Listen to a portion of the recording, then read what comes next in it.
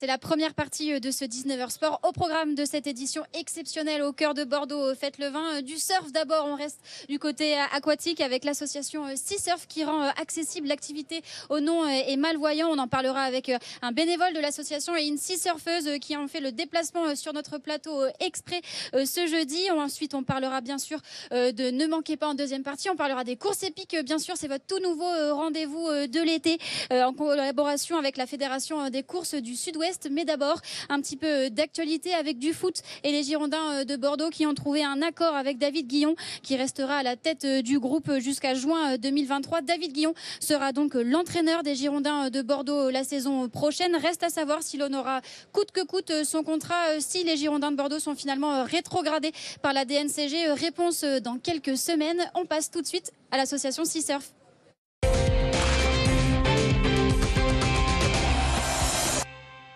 Moi euh, sur le plateau euh, Stéphane Guélis de l'association euh, Sea Surf et Lou Méchiche Sea Surfeuse depuis 4 ans. Bonsoir à tous les deux. Bonsoir. Bonsoir. Merci beaucoup d'avoir fait le déplacement sur ce plateau exceptionnel. Avant de parler bien sûr de la journée de stage que l'association organise ce dimanche 26 juin à Cap-Breton, on va d'abord découvrir un peu plus cette association. Expliquez-nous, Stéphane, l'origine de Sea Surf et surtout son objectif au quotidien. Donc Sea Surf, c'est l'œuvre d'une personne déficiente visuelle qui s'appelle Claudie Robin, qui euh, a eu une idée folle en 2012 euh, de, créer cette association pour permettre aux gens qui avaient une déficience visuelle de s'adonner à la pratique du surf. Donc euh, la création date d'octobre 2012 avec les premières journées d'action en 2013. Lou a fait partie très tôt de l'aventure Sea Surf, a découvert l'aventure Sea Surf avec son papa, qui est également bénévole chez nous, qui est un peu plus en retrait aujourd'hui, mais qui a été un membre actif à l'époque. sea Surf a pour vocation de faire découvrir la pratique du surf aux déficients visuels. Ça, c'est la, vocation première. Et l'évolution naturelle, c'est de permettre euh, une initiation après la découverte, si le sea surfer se sent à l'aise et a envie d'aller plus loin. Et le but ultime de Sea Surf, c'est de permettre l'inclusion euh, d'un déficient visuel euh, dans un club de surf de voyants. Au total, l'association Sea Surf, euh, c'est 130 bénévoles qui permettent à une quarantaine euh, de sea surfeurs de pratiquer euh, le surf. Lou, justement, vous en faites partie depuis 4 ans. Comment avez-vous découvert l'association et comment se sont passés vos premiers moments sur la planche grâce à l'association?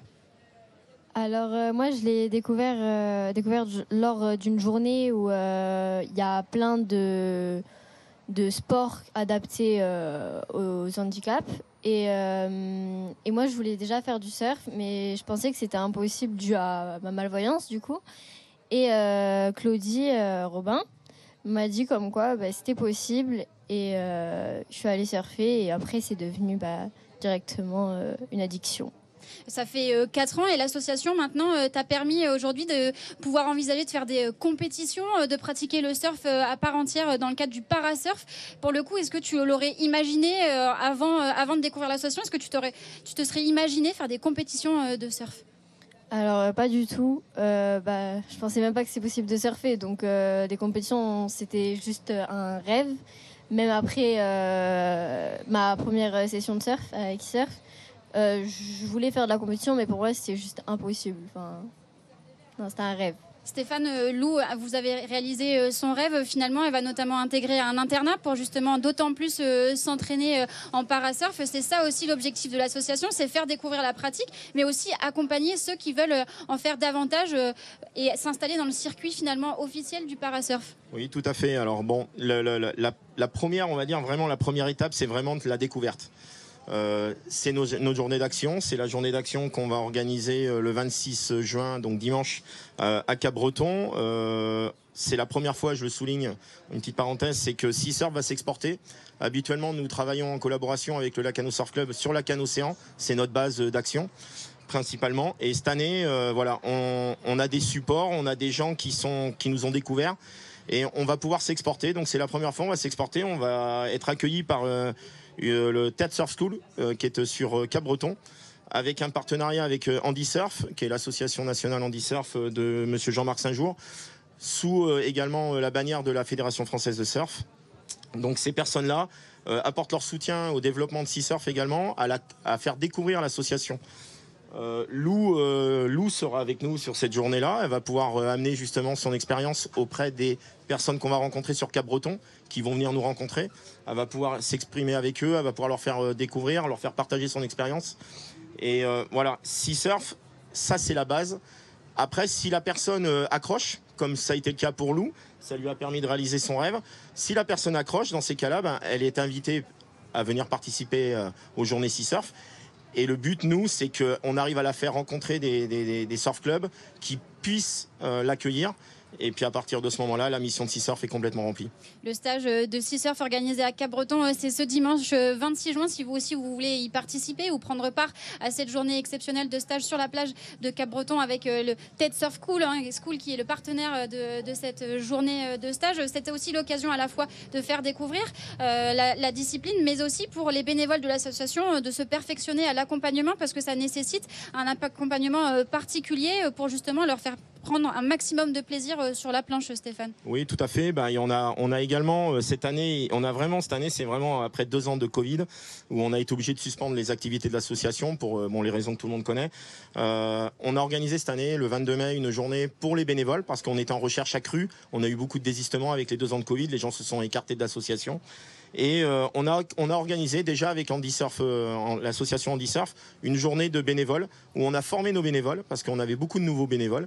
Euh, ça a permis aux bénévoles ben, d'apprendre les gestes techniques, la, sécuritaires pour accompagner au mieux un sea surfer, le rassurer, parce que tous les sea surfeurs, malgré qu'ils aient de la bonne volonté, qu'ils veulent découvrir la pratique, il y a toujours chaque personne a ses petites peurs. Et on est, les, les, bénévoles sont là pour ben, on va dire, euh, faire oublier la peur, rassurer au maximum et accompagner le sea surfer. Lou, j'enchaîne. Euh, Lou, euh, vous serez là ce dimanche à Cap-Breton. Stéphane l'a un petit peu dit, c'est l'occasion aussi pour vous de, de partager votre expérience, de peut-être rassurer aussi les futurs sea surfers qui sont peut-être encore un petit peu dans l'appréhension de pratiquer le surf, le surf pardon, malgré leur handicap. C'est important que tu sois aussi présente pour ces journées-là pour les accompagner ben, Je pense que ça peut être bien de montrer que. Enfin, moi, ça m'aurait encore plus motivé, malgré que j'avais beaucoup de motivation quand même, euh, de voir que ben y a quelqu'un qui a réussi à aller euh, en compétition, tout ça, et me montrer que ben, moi aussi, euh, je peux y arriver. Ça m'aurait rassuré, tout ça. Donc. Donc je pense que c'est important et puis ça fait toujours plaisir de voir des gens et de me dire c'est peut-être euh, contre eux que je vais euh, parcourir euh, prochainement.